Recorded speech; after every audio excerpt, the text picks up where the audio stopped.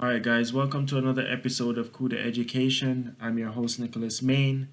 Today, uh, what we're going to talk about is warp divergence and uh, how it affects performance. So I have some code here, and you know, uh, this video is just to to briefly go through the code and to to get you guys uh, pointed in the right direction in terms of what warp divergence is and how it affects performance. Um, guys, make sure you subscribe to the YouTube channel. Visit the website, CUDAeducation.com. Uh, follow me on Twitter at CUDAeducation. If you have any questions, the best place to get me is probably on the YouTube video. So just comment on the YouTube video. And also, don't forget to donate. Uh, there's time and energy in creating these videos and what have you and the website.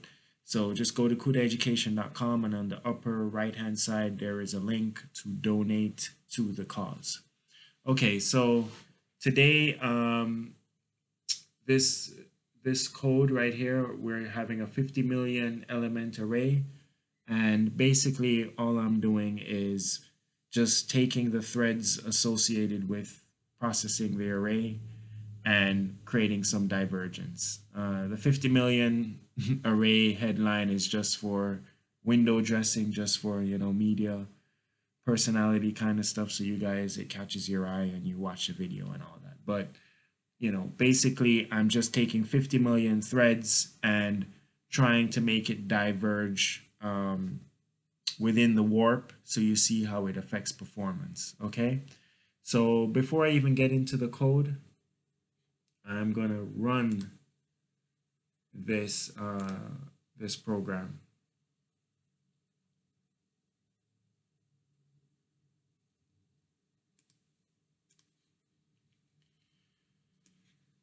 So this is what we have. We have a 50 million array. We have about 195,000 blocks and 256 threads in each block.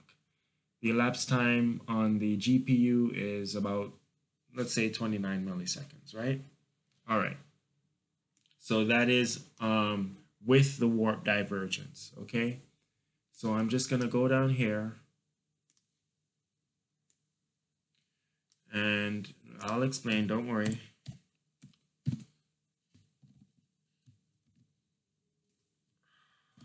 And comment out comment out this section which basically causes the warp divergence, right? So now we're going to rebuild.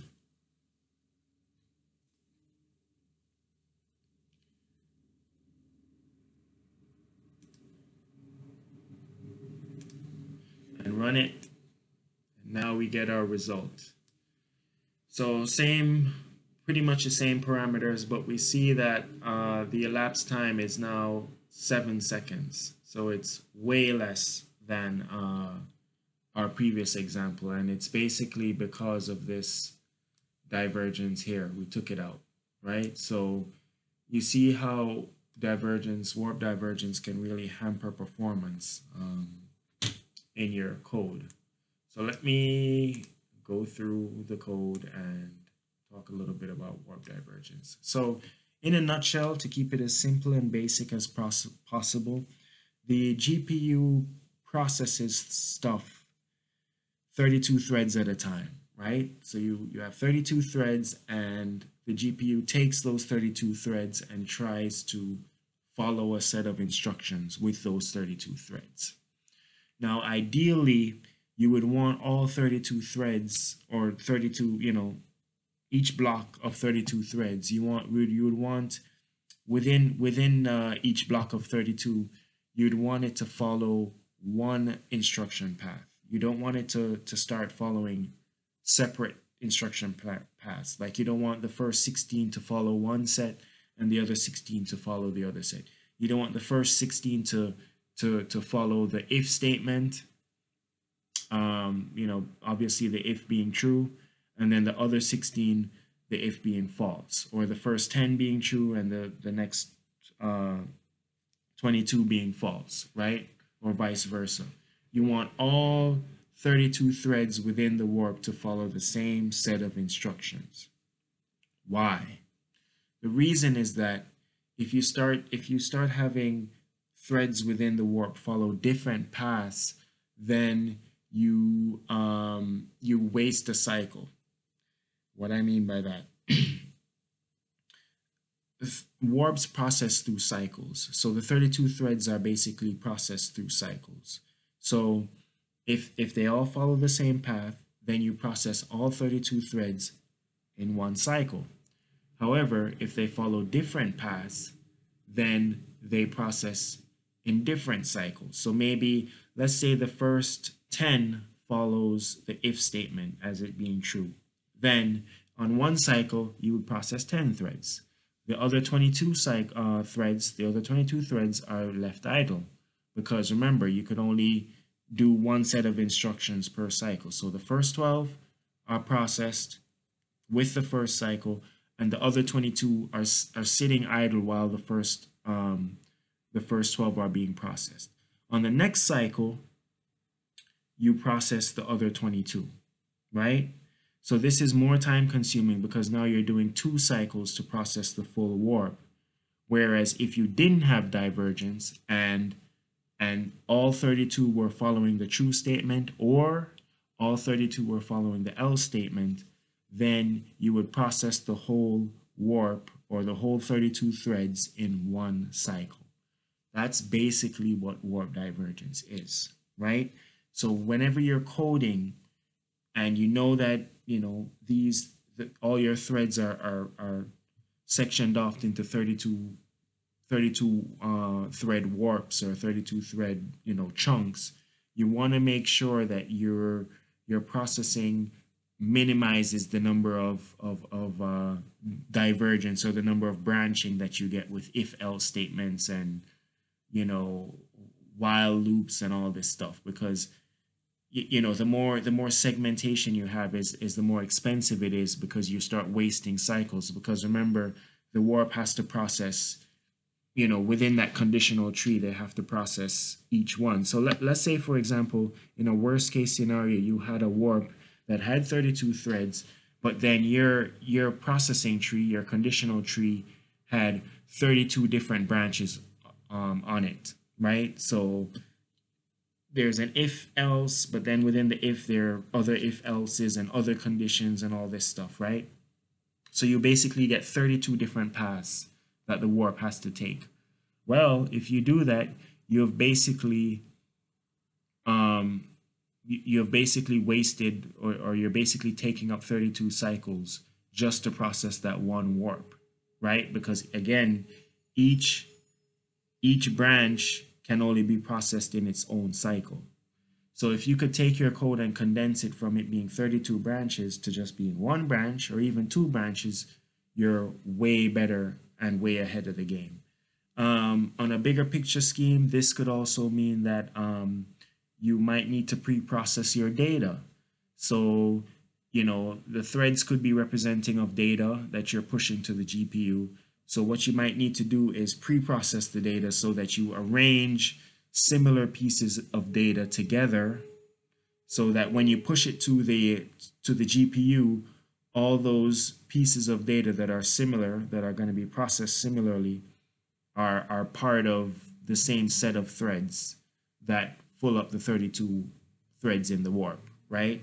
So you want to make sure that uh, you know you could pre-process the data. So as soon as it hits the GPU, it's really fast because the warps, the warps in one cycle they just they just um, accomplish everything, and then you you know so you, you you just group it before you you push it to the gpu but that's high level stuff. But but that is the basic understanding and, and implementation of, of what warp, warp divergence is and, and how you could um, improve your code by minimizing warp divergence okay all right so let's get into some code so all things in c sharp and c++ start with main so here again i have um, you know, CUDA education device zero. Um, I, you know, it's just an integer I set to zero.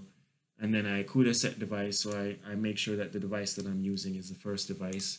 You know, my GeForce 1080p uh, 1050 Ti um, card, right? This is my environment right here. CUDA Toolkit 9, Windows, Visual Studio Community, edition GeForce 1050 Ti. If you need to install CUDA Toolkit, you could watch my previous video.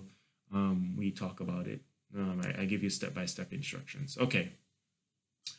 So again, my array is 50 million, 50 million elements. And then uh, our dummy variable, just to keep the show going, I set to zero. I'll show you why I, I do this, but basically I just set it to zero. And then I print out the number of integers in your array. So, you know, we're going to use the 50 million, sorry, 50 million um, elements. And then uh, number of threads in each block. So I just set it to 256. Um, this is, let me just make sure.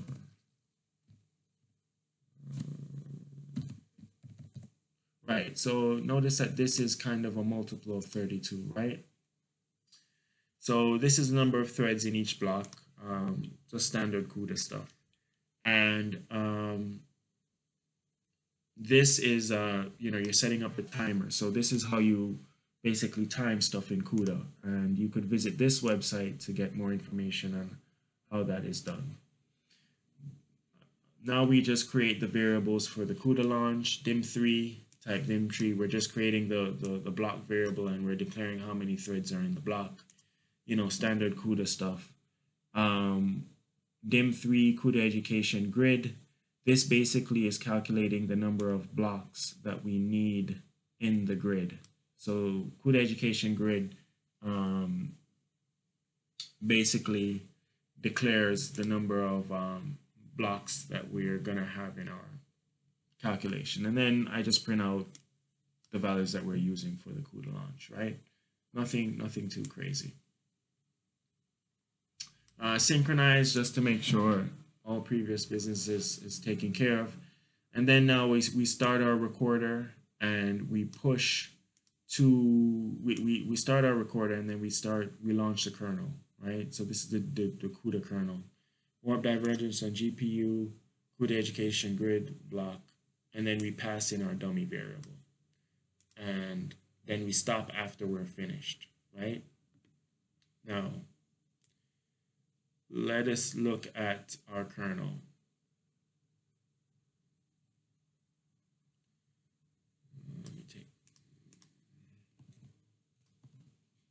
So pretty much all I'm doing, I passed in my dummy variable and I'm just launching the kernel. Um, I do calculate a linear address um, for the, the actual thread we're tackling. It's not completely necessary in this in this implementation, but I do it anyway because you guys need to understand why you need to calculate the linear address and, and its importance. But, but basically, it's just the index of the thread in, in, in among all threads that, that the GPU has, has uh, available, right? So it's just, you know, which thread in which block is it basically and the, linear address basically maps it out for you because it takes into account the current block the number of blocks and the, the thread ID, right, to, to get a linear address. You could check out this guy right here to get, get more information on that. But this is where the divergence happens now. Start thread warp divergence code. So if you do not comment it out, performance is slow. This is because the warps can only take a single path. So we're going to take, let's say, the if path in each cycle. So if the if path is taken on a given cycle, the threads that are not supposed that are supposed to take the else path are left idle until the next cycle. Obviously, this wastes cycle processing power and productivity. That is why the processing time is longer. So when you push this, which basically you're taking the thread ID, dividing it by two, and if it's equal to zero, basically odd and even, right? So if it's odd, um, if it's even, it does this. If it's odd, it does this. Uh, I just use the dummy variable just to, to do some actual processing so that you know the, the, the compiler doesn't for example erase all this stuff and says hey well you know if, if this isn't doing anything and this isn't doing anything i'm just going to erase the whole statement so I, I just do some kind of dummy processing just to make sure the compiler doesn't erase it and and to to just you know do something so that it, it sort of hangs up the the GPU and you could see the time difference. So basically remember there are 32 threads coming in but then you know maybe half of them can do this on one cycle and then the other half can do this on the other cycle. And you add warp warp divergence and that's basically it right? So yeah you know now so when you when you do have it it, it, it slows up the process but when you comment this out then it it basically um it doesn't uh do anything and you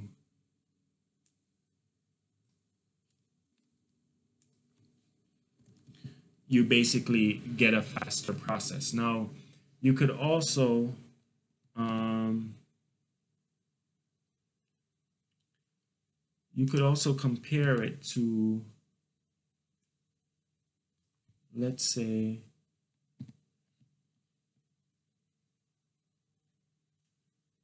do this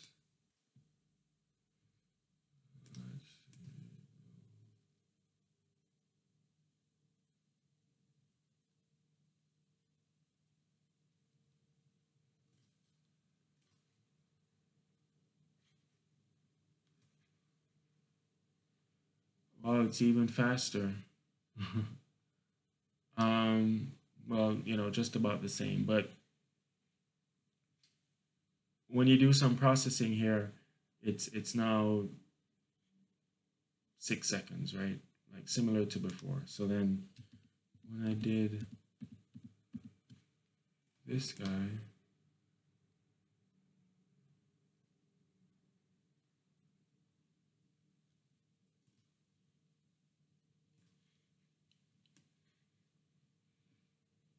yeah, I'm at seven seconds, right? And then when I take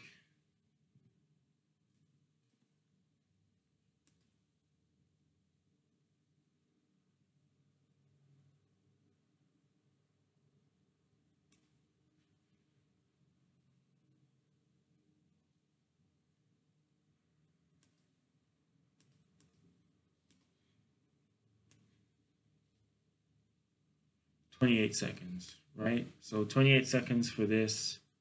Let let's um play some let's let's play a game here. Let's let's take out the else statement completely and see how it affects.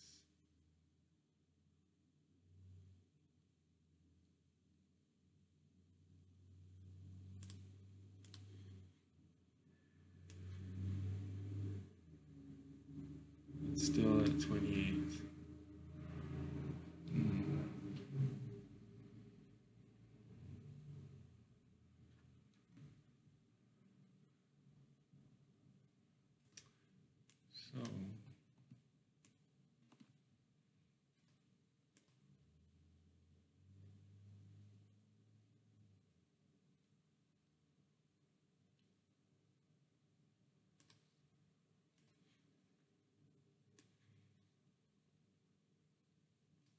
Right.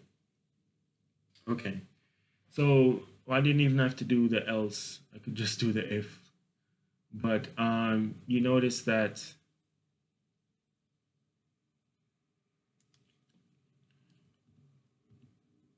once I put in a conditional statement, it hampers the processing.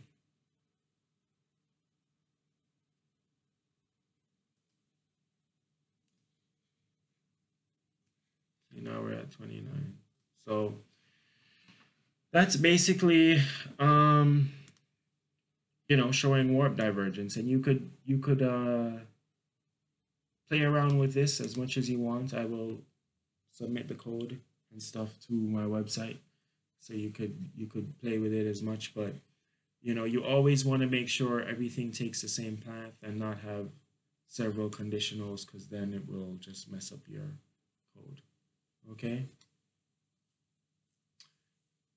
All right, guys. Um, have a great day. Remember to visit the website, Twitter, email, donate, subscribe to the YouTube channel. All right. Have a great day.